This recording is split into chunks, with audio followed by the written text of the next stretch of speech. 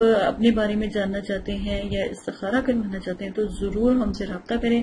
Number تین، اگر آپ نے ہماری ویڈیو کو شیئر نہیں کیا تو ہمارے ویڈیو کو شیئر کر سکتے ہیں۔ اگر آپ اپنے کسی پیارے کے لیے استخارہ کروانا چاہتے ہیں تو اس کے لیے بھی ہم آپ کے ساتھ مکمل تعاون کریں گے۔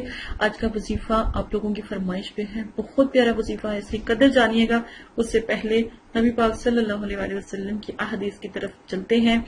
حضرت علی کے پاس ایک یہودی آیا اور کہا، میں نے سنا ہے کہ آپ مسلمان جب عبادت کرتے ہو تو برے برے خیال آتے ہیں۔ جبکہ ہم عبادت کرتے ہیں تو ہمیں نہیں آتے۔ حضرت علی نے جواب میں فرمایا، اگر ایک فقیر اگر ایک گھر فقیر کا ہو اور ایک گھر امیر کا، تو چور کہاں آئے گا؟ یہودی نے کہا، امیر کے گھر میں۔ حضرت علی عنہ نے فرمایا، تبھی تو شیطان ان کو ستاتا ہے جن کے دل میں اللہ ہو، جن کے دل میں اللہ نہیں ہوتا۔ وہاں شیطان کا کیا کام ہے؟ کہ وہ جو پہلے سے ہی شیطان ہو، تو ان کا پھر کیا کام ہے؟ یہ کتنی پیاری بات ہے۔ ٹھیک ہے، نبی پاک صلی اللہ علیہ وسلم کی حدیث سے پہلے میرا دل کیا کہ میں آپ کو یہ سناؤں۔ نبی پاک صلی اللہ علیہ وسلم نے صدقے کے لیے آج میں آپ کو بتانے لگی ہوں کہ جس پاک کمائی سے ایک کھجور کے برابر بھی صدقہ کیا جائے تو اللہ تعالیٰ اس کو دائیں ہاتھ میں لیتے ہیں۔ اللہ تعالیٰ صرف پاک کمائی کو قبول کرتے ہیں۔ پھر اس کو خیرات کرنے والے کے لیے پالتے رہتے ہیں۔ جس طرح تم میں سے کوئی اپنے بچڑے کو پالتا ہے یعنی کسی گائے کو پالتا ہے، یہاں تک کہ وہ خیرات پہاڑ کے برابر ہو جاتی ہے۔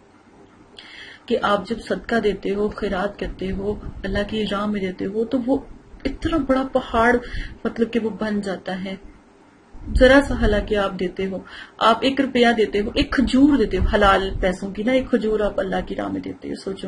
اب اس کا سواب جو اتنا پھیلتا ہے، اتنا اتنا اتنا زیادہ دن دن بڑھ سواب پھیلتا چلا جاتا ہے، تو اتنا بلند ہو جاتا ہے کہ وہ جیسے وہ سواب مطلب کہ ایک کھجور ایسے پلتی ہے کہ اب ایک کھجور کو لینے وہ بڑی ہوتی ہوتی ہوتی ہوتی ایک پہاڑ جتنی کھجور بن جائے، تو یہ بھی کم ہے۔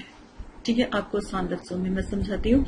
آج جو وظیفہ آپ کے ساتھ پیش کیا جا رہا ہے، اپنے پیاروں کو، اپنے پاس بلانے کا، ان کو اپنے مسخر کرنے کا وظیفہ بتاؤں گی کہ ان کو کیسے مسخر کیا جاتا ہے، کیسے اپنے پیاروں کو اپنے پاس بلایا جاتا ہے، اپنے پیار میں ان سے مطلب کہ ان کو اتنا اللہ پاک اس آپس میں محبت پیدا کر دے کہ کبھی وہ دور نہ جائے آسان اتنا نہیں ہے یہ عمل، لیکن میں ایک بات بتاؤں کہ تھوڑا سا مشکل بھی ہے۔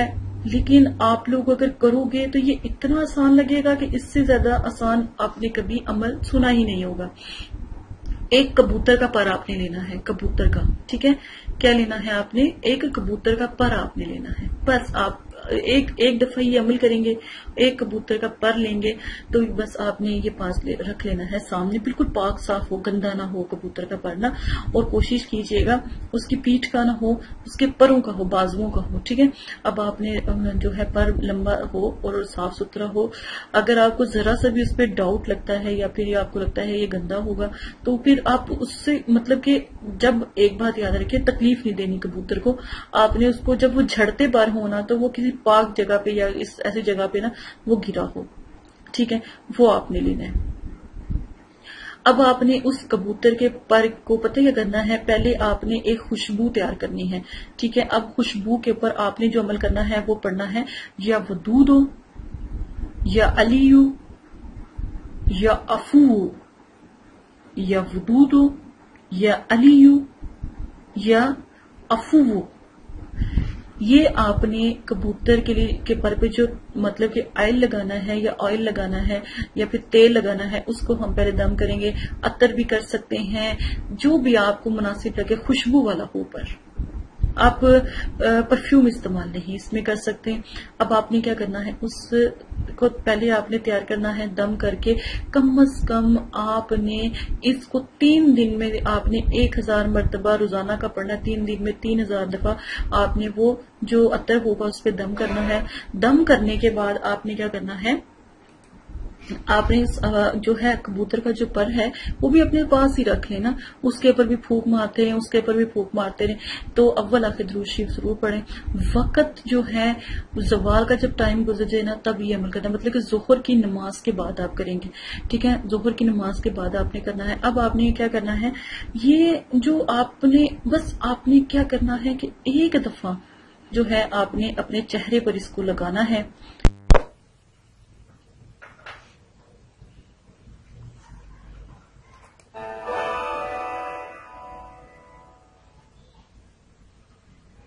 بہت سے لوگوں کی فرمائش پر کہ ہمیں جادو ہے، ہمیں ایسی پریشانی ہے، ویسی پریشانی ہے۔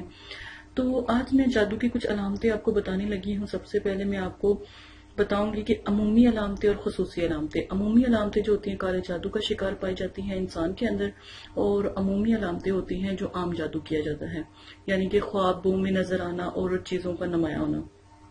خواب میں پیشاب پخانا دیکھنا، اپنے جسم پر پخانا لگا ہوا دیکھنا، اپنے آپ کو غسل خانے میں دیکھنا، اور خواب میں نجاست اور گندگی دیکھنا، خواب میں زنا کرنا یا پھر صحبت کرنا اور ننگا دیکھنا، خواب میں ڈرنا، عجیب و غریب خواب دیکھنا، خواب میں کتا دیکھنا، مردے دیکھنا، بچھو دیکھنا، سانپ دیکھنا، یہ سب جو علامتیں ہیں، یہ سب علامتیں جادو کی ہیں۔ اللہ جادو جو آیا ہے وہ انسان جب کالا جادو کی طرف منتقل ہوتا ہے تو وہ کسی نہ کسی سے نفرت کرتا ہے یا اس سے بدلہ لینا چاہتا ہے۔ اور کالا جادو تبھی استعمال کیا جاتا ہے جب وہ ایمان سے خارج ہو جائے۔ آپ لوگوں کو پتہ بھی نہیں ہوتا اور آپ لوگ ایمان سے خارج ہو جاتے ہیں، جو لوگ جادو کرواتے ہیں یا پھر کالا جادو کرواتے ہیں۔ جادو کیسا بھی ہو ایمان سے خارج کر دے جادو کی پہلی علامت جوڑوں میں درد ہونا، دوسری علامت بدبودار پخانا آنا، پیشاب میں بہت تیز اسمیل ہو جانا پیٹ کا کھایا پیا، غائب ہو جانا یعنی جو کچھ کھایا ہے، وہ آدھے گھنٹے میں ختم ہو جانا۔ پیٹ میں درد محسوس ہونا، دس آنا اور بدہضمی ہو جانا۔ میدے میں درد اور متلی ہونا، بخار ہو جانا۔ ہر وقت جسم میں درد رہنا، دل کا تیز سے دھڑکنا، سانس مشکل سے آنا، سینے میں درد اور جلن کا محسوس ہونا، آنکھوں کے آگے اندھیرا ہو جانا۔ اور جسم کی رگوں کو تکلیف پہنچنا، نزلہ، زکام، اس قسم کی چھینکیں آنا جو پہلے آپ کو کبھی بھی نہیں آئی عجیب و غریب سی بدبو آنا، کھانے میں اسمیل ہو جانا، نماز میں نہ دل لگنا اور قرآن پاک پڑھیں تو دل کرنا کہ بند ہو جائے اور پورے جسم کا ہر وقت گرم رہنا، ناک کا گرم رہنا تو بناؤز باللہ، نماز سے دوری ہونا اور رسول کریم صلی اللہ علیہ وسلم سے تو بناؤز باللہ، نفرت ہونا، دل میں اسلام کی عبادت نہ ہونا اور عبادت کو برا سمجھا جانا۔ کہلی اور سستی رہنا، ہاتھ پیر سون ہو جانا، جسم پر نیلے نشان پڑتے چلے جانا، سر بھاری رہنا، جسم میں سردی کا محسوس ہونا، دن ب دن جسم کا سوکھنے شروع ہو جانا، بلا وجہ تھکاوٹ کا محسوس کرنا، بغیر کسی وجہ کے جسم میں کمزوری محسوس کرنا، کھانے سے پہلے یا کھانے کے بعد منہ سے اسمیل آنا اور عجیب و غریب سی اسمیل یا بدبو آنا، حلق میں عجیب و غریب سی اسمیل کا ہو جانا اور آنکھوں کے سامنے گلابی یا نیلے رنگ کے ڈبے سے نظر آنا، عجیب سی لائنیں آنکھوں کے سامنے کالے رنگ نظر آنا یا سیاہ رنگ گھومتا ہوا نظر آنا، جیسے کوئی پنکھا چل رہا ہے ہیلی کاپٹر چل رہا ہے، عجیب و غریب سی آوازیں آنا، آنکھوں اور کے سامنے اندھیرا چھا جانا، کمزوری لگنا یا زمین پر کالے کالے دھبے یا کالے کالے نشان نظر آنا، یہ سب علام، یہ سب علامتیں جو ہیں کالے جادو کی ہیں، جادو کی ہیں۔ اگر آپ کے ساتھ بھی ایسا کوئی مسئلہ ہے، ان سب علامتوں میں سے تو پلیز ہم سے رابطہ کریں تاکہ ہم آپ کی مدد کر سکیں۔ آج کل جادو اور یہ چیزیں بہت عام ہو چکی ہیں، تو ہماری پوری کوشش ہوگی جتنے بھی ہمارے سبسکرائبر ہیں، ہم ان کو بچا سکیں۔ اور کچھ تدابیر یا کچھ چیزیں ہم آپ کو بتائیں گے ان شاء اللہ کے حکم سے اگر آپ کے ساتھ یہ سب ہو رہا ہے، کاروبار میں بندش آ رہی ہے، گھر میں ناچاکی ہو رہی ہے، لڑائی ہو رہی ہے، جھگڑے ہو رہے ہیں، کہیں بچے بدتمیز ہو رہے ہیں، کہیں والدین کا احترام نہیں ہو رہا کچھ بھی ایسا ہو چھوٹی سے چھوٹی بھی پریشانی آپ کو لاحق ہو تو ہمارے چینل پر آ کر سبسکرائب کر کے ہم سے بات کر سکتے ہیں۔ جب کسی پر جادو ہو تو بدبو آنے آنا شروع ہو جاتی ہے، بے سکونی محسوس شروع ہو جاتی ہے، دل میں گھبراہٹ ہوتی ہے، ڈر آتا ہے، خوف آتا ہے اور نفرتیں پیدا ہونے لگ جاتی ہیں، اذان سے چڑچڑا پن ہونے لگتا ہے، اذان کی آواز سے گھبراہٹ ہونے لگتی ہے۔ قرآن پاک پڑھنے یا سننے میں بھی پریشانی ہوتی ہے جسم میں درد شروع ہو جاتا ہے۔ دوائیں میڈیسن اثر کرنا چھوڑ دیتی ہیں یا کسی بھی قسم کی دوائی آپ کھاتے ہیں تو کوئی اثر نہیں ہوتا۔ ہر کام میں جلدی ہو جانا، ہر کام کی جلدی ہونے کی آرزو کرنا، کوشش کرنا، دکان پہ اگر کوئی چیز لینے جا رہے ہیں تو انتظار کرنے سے پریشان ہونا، لڑنا، جھگڑنا، یا فساد کرنا اور بے چینی محسوس کرنا، انتظار نہ کرنا، جسم میں کیڑے سے کاٹنا، جب غور کرو تو کچھ بھی نہ نظر آنا۔ یہ سب علامتیں جادو کی ہیں۔ سر میں درد رہنا، کمر میں درد رہنا، گھٹنوں میں درد رہنا، پاؤں میں درد رہنا، جسم کے ہر حصے میں درد اور تکلیف ہونا، آنکھوں کے آگے جلن اور سرخ رنگ رہنا اور بار بار آپ کو ایسے محسوس ہونا جیسے آپ کو کوئی جھٹکا دے رہا ہے یا کوئی دھکا دے رہا ہے۔ اس طرح کی علامتیں بھی جادو کی علامت۔ آپ سب سے گزارش ہے جلدی سے ہمارے چینل کو سبسکرائب کر لیں تاکہ اگر آپ کے ساتھ اس طرح کی پریشانی ہے تو ہم آپ کی بھرپور مدد کر سکیں۔ اور رہی بات غیبی موکل کی، تو آج میں آپ کو غیبی موکل کے بارے میں بھی بتا دیتی ہوں۔ عمل آپ نے کچھ بھی نہیں کرنا ہوتا، آپ کو ایک ریکارڈنگ دی جائے گی، وہ آپ نے سننی ہے۔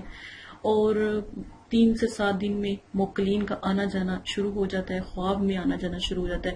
پھر آپ کے آس پاس ایسے لگتا ہے جیسے کوئی نہ کوئی روحانیت ظاہر ہو رہی ہے۔ غیبی موکل کا یہ عمل ہے۔ غیبی عمل، موکل کے عمل میں پہلے آپ کو استخارہ کروانا پڑتا ہے۔ پھر ہم آپ کی طرف موکل کو بھیجتے ہیں۔ پڑھائی ہم کرتے ہیں، موکل آپ کی طرف حاضر ہوتے ہیں۔ ٹھیک ہے؟ آپ کو ریکارڈنگ دی جاتی ہے، وہ آپ سنتے ہیں اور الحمدللہ جو ہے مقلین کی حاضری ہونا شروع ہوتی ہے۔ فائدہ اس کا یہ ہے کہ آپ کا روحانیت میں بھرپور مدد کرتے ہیں، آپ کے ہر کام میں مدد کرتے ہیں، چھوٹے سے چھوٹے کام میں آپ کی مدد کرتے ہیں، آپ کی مشکلیں آسان کرتے ہیں، کوئی بھی دعا ہو اس کی قبولیت اللہ پاک سے کرواتے ہیں اور آپ کے اوپر کبھی کوئی جادو نہیں کر سکتا، کوئی ساحر نہیں کر سکتا، کچھ بھی نہیں کر سکتا، آپ کی بھرپور مدد کرتے ہیں۔ غیبی موکل آپ کو رجت سے بچاتا ہے اگر عملیات کرتے ہیں تو غیبی موکل عملیات میں کامیابی کے لیے آپ کے ساتھ دیتے ہیں، الحمدللہ۔ تو غیبی موکل کا عمل ضرور کریں۔ عملیات سے پہلے آپ سے گزارش کی جاتی ہے، اگر عمل کرنا چاہتے ہیں تو غیبی موکل کا عمل پہلے کریں۔ آپ کہاں رہتے ہیں؟ آپ کا نام، آپ کی والدہ کا نام آپ ضرور سینڈ کریں تاکہ آپ کا استخارہ پہلے کیا جائے۔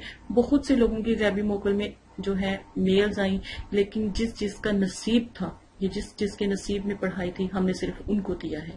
تو اگر آپ بھی عمل میں شامل ہونا چاہتے ہیں، غیبی موکل کا عمل لینا چاہتے ہیں، تو آپ بھی بھرپور حصہ لیں۔ انشاءاللہ آپ کے ساتھ بھی جو آپ کا حساب کیا جائے گا، استخارہ کیا جائے گا۔ اگر آپ کو اللہ پاک نے اس چیز کا شرف دیا ہے، تو ضرور آپ یہ عمل کریں۔